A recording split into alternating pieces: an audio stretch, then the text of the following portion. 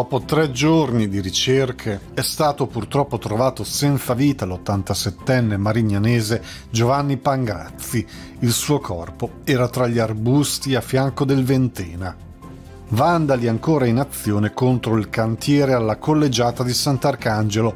La prontezza del parroco ha evitato che un incendio causasse danni pesanti il capodanno tra ristoranti e piatti tipici, ma a tre giorni dalla notte di San Silvestro c'è chi ancora deve decidere.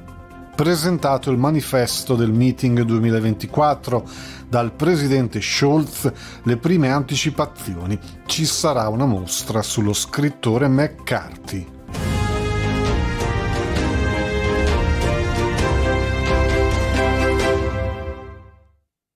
Buonasera e bentrovati all'appuntamento con l'informazione di Icaro TG. Dopo tre giorni di ricerche è stato purtroppo trovato senza vita Giovanni Pangrazzi, l'87enne di San Giovanni Marignano, di cui non si avevano più notizie dal giorno di Natale. Il suo corpo è stato rinvenuto a metà giornata vicino al torrente Ventena, non lontano dal nuovo ponte di Via Brenta. Il corpo era in mezzo a dei fitti arbusti e non era visibile a occhio nudo. Per rintracciarlo è stato decisivo il fiuto di un cane del nucleo cinofilo dei Vigili del Fuoco. La prima ispezione cadaverica ha escluso segni di violenza e ha accertato il decesso per cause naturali. Il magistrato ha comunque disposto l'autopsia.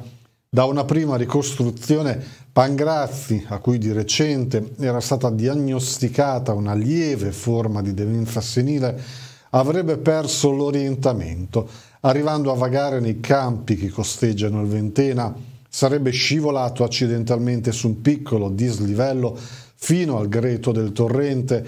Nonostante la caduta, avrebbe però trovato la forza di rialzarsi e risalire il piccolo pendio poi probabilmente un improvviso malore lo ha fatto accasciare nella radura.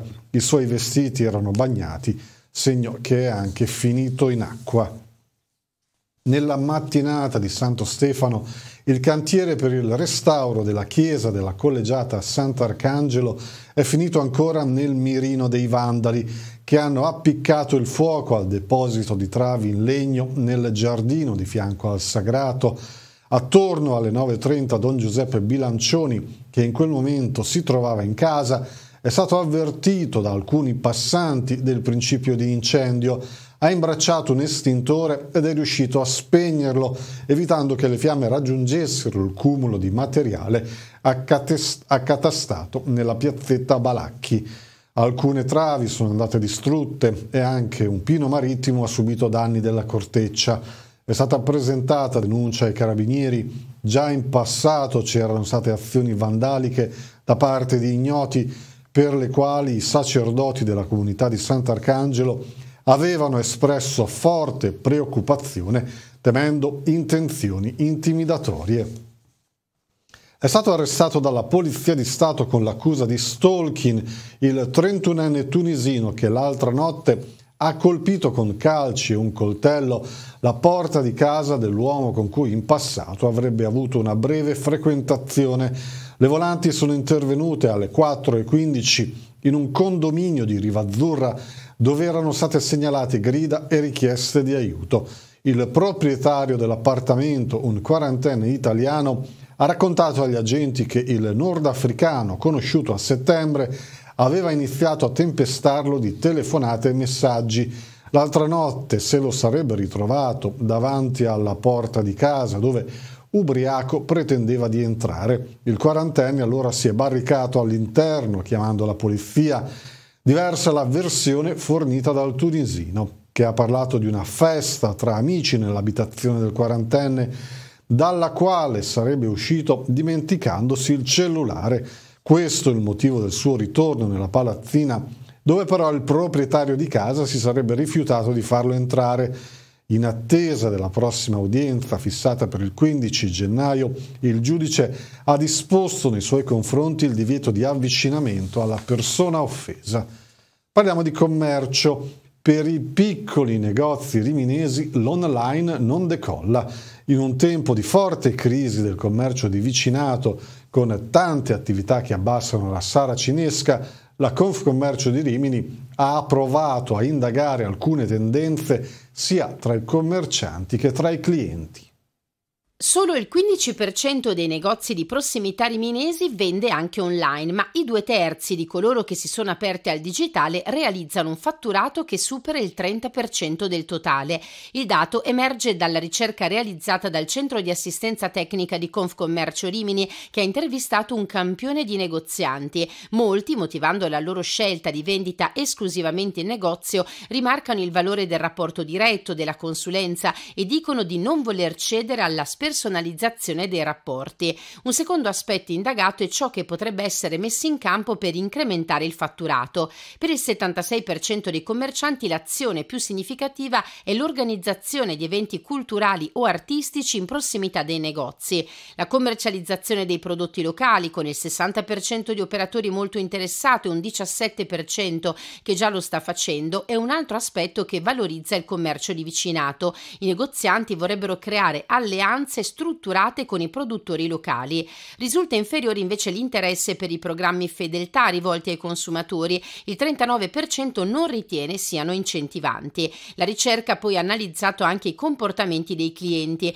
Oltre il 90% dei cittadini intervistati si dice d'accordo sull'importanza di valorizzare le attività di vicinato, anche perché la presenza di queste aumenta la percezione di sicurezza nei quartieri ed evita il degrado. Si tratta inoltre di luoghi di relazione umana umane di garanzia di servizi soprattutto per le persone più in difficoltà e per gli anziani.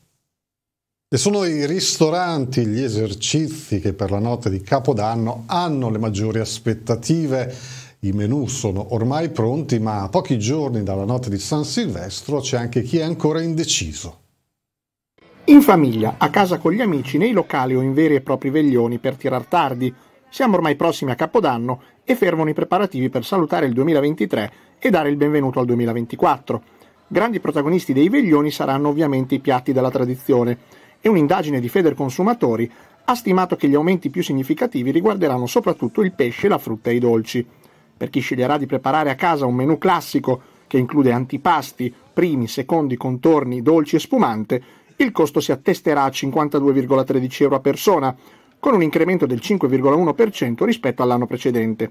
Numerose invece le città che adotteranno un numero chiuso di accessi nelle piazze per motivi di sicurezza. Preferisco a casa quest'anno. Ma resterò a casa con la mia famiglia e saremo tranquilli a casa. Quindi tu preferisci sempre casa piuttosto che locali, eccetera? Sì, sì, sì, sì in famiglia. Cosa cucinerete? Un classico zampone con le lenticchie e forse il giorno dopo del pesce. Penso in casa con qualche parente amico. E menù? Ancora programmato. Si arriva sempre all'ultimo minuto, vero? Non sono più nell'età di programmare queste cose. Penso spaghetti alle vongole. Io da amici. Sem- è sempre la cosa migliore secondo te? No, beh, dipende. Cioè, se, se si riesce a organizzare, sì. Si mangia menù casalingo, quindi qualcuno cucina? solite festività, diciamo. Quindi ci si abbuffa come sempre? Si abbuffa. È stata una cosa forse un po' più consumistica oppure non la pensa così? Eh, diciamo consumistica, ma ancora di famiglia. Comunque sia, buon appetito a tutti. Stanno prendendo forma mostre, convegni e spettacoli del meeting in programma dal 20 al 25 agosto prossimi in Fiera a Rimini. Il titolo della 45esima edizione è Se non siamo alla ricerca dell'essenziale, allora cosa cerchiamo? Da una frase dello scrittore americano Cormac McCarthy dal presidente del meeting Scholz in occasione della presentazione del manifesto anche alcune anticipazioni sull'edizione 2024. Dobbiamo chiederci che cosa veramente vogliamo tramandare alle future generazioni. Cosa vuol dire educare oggi? Cosa vuol dire dare ai ragazzi la certezza di poter affrontare un futuro che è pieno di incognite? Cosa eh, dobbiamo guardare per creare un mondo del lavoro veramente dignitoso, per superare la disuguaglianza che sta crescendo. E non per ultimo, cosa possiamo eh, dirci rispetto ai grandi conflitti mondiali che stanno crescendo, che stanno raggiungendo livello di un'atrocità che pensavamo superata.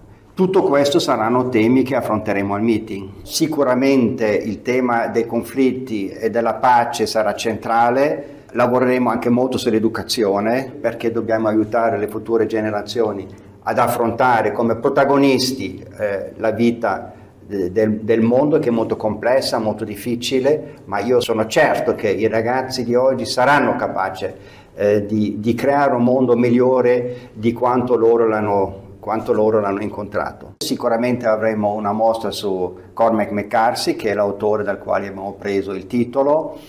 Avremo mostre sull'arte, come tutti gli anni cerchiamo di rendere presente perché la bellezza è un aspetto essenziale della vita, tanto per entrare anche già un attimo nel titolo, eh, perché la bellezza ci dà la possibilità di rigenerarci, di guardare ciò che è veramente importante nella vita. Poi avremo spettacoli musicali, teatrali, sempre di alto livello, non è mai scontato, ma sono fiducioso che anche l'anno prossimo potremo presentare un programma molto, molto interessante e con eh, protagonisti importanti. L'essenziale è un punto eh, sorgivo da una parte e un punto d'arrivo dall'altra e questa dinamicità dell'essenziale spero che venga visualizzata bene eh, in questo manifesto. Prosegue la nostra carrellata su fatti e personaggi del 2023 che si sta per chiudere. Oggi siamo al mese di aprile. Si è concluso con 6 condanne e 12 assoluzioni il processo di primo grado sugli appalti del comune di Rimini, Tecnopolo e Acquarena. L'amministrazione si era costituita parte civile e dovrà essere risarcita. A Rimini un murales con un uomo che all'atto un neonato al seno divide l'opinione pubblica, polemica a distanza tra il consigliere regionale Montevecchi e il sindaco Sadegolvad. Cancellato nella notte da ignoti il murales dell'uomo che allatta in via Savonarola Rimini, un gesto che ha scatenato ulteriormente il dibattito. Vieni oltre, nell'incontro pubblico al Teatro Galli, Rimini lancia log e slogan per la candidatura a Capitale Europea della Cultura 2026. Vieni oltre.